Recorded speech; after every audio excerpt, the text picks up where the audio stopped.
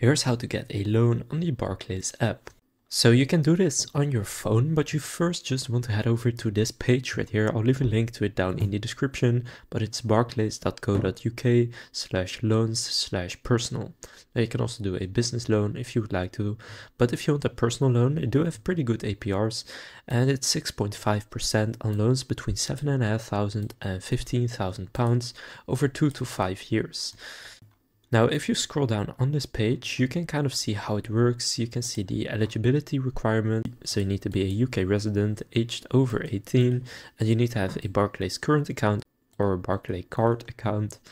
And if you scroll down a bit more, you can calculate how much it will cost you. For example, if you want to loan £5,000 on a term of 24 months, now you can see the total amount payable here is 5,644.56, so it's pretty good.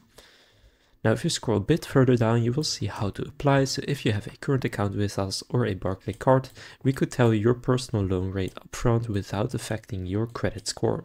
So to do this, just click on here you may be eligible and then click check now and that will take you right here. Now, if you're on the website on your phone, it may take you to the app. If not, just go and sign in right here. So you can use your last name and membership number.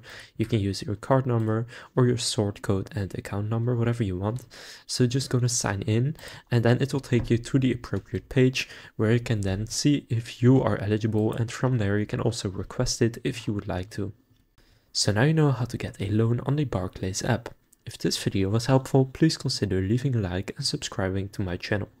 With that being said, I will see you in the next video.